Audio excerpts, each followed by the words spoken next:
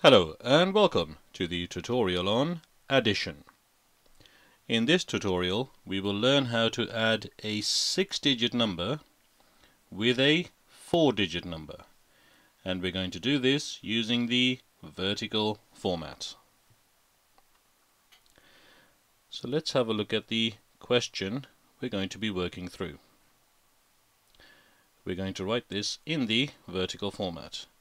400 and eighty-seven thousand three hundred and fifty-nine plus six thousand four hundred and seventy-three. Let's put a nice big equal sign over here. And let's label the columns as well. We have units, tens, hundreds, thousands, ten thousands, and hundred thousands. Okay, we are now ready to go ahead and do the addition. And as always, we're going to start with the column on the right hand side first. And let's do some workings on the right.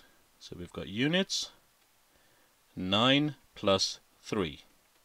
9 plus 3 is 12 and we write it down like this. Next is the tens. We have 5 plus 7 and plus the 1 we have carried over. Here is a 1 over here.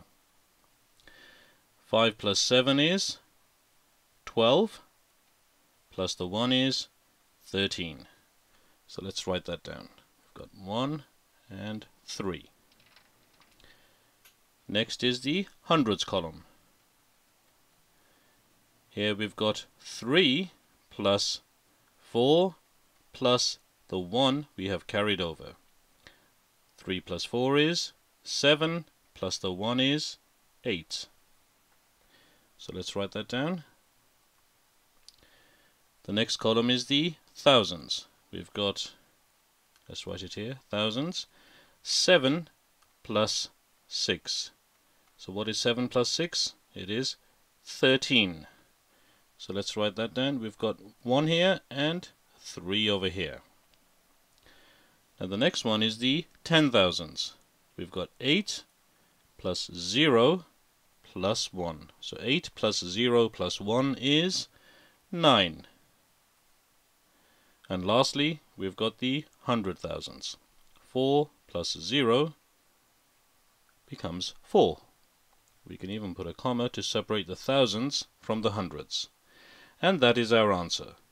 493,832. And it really is that simple.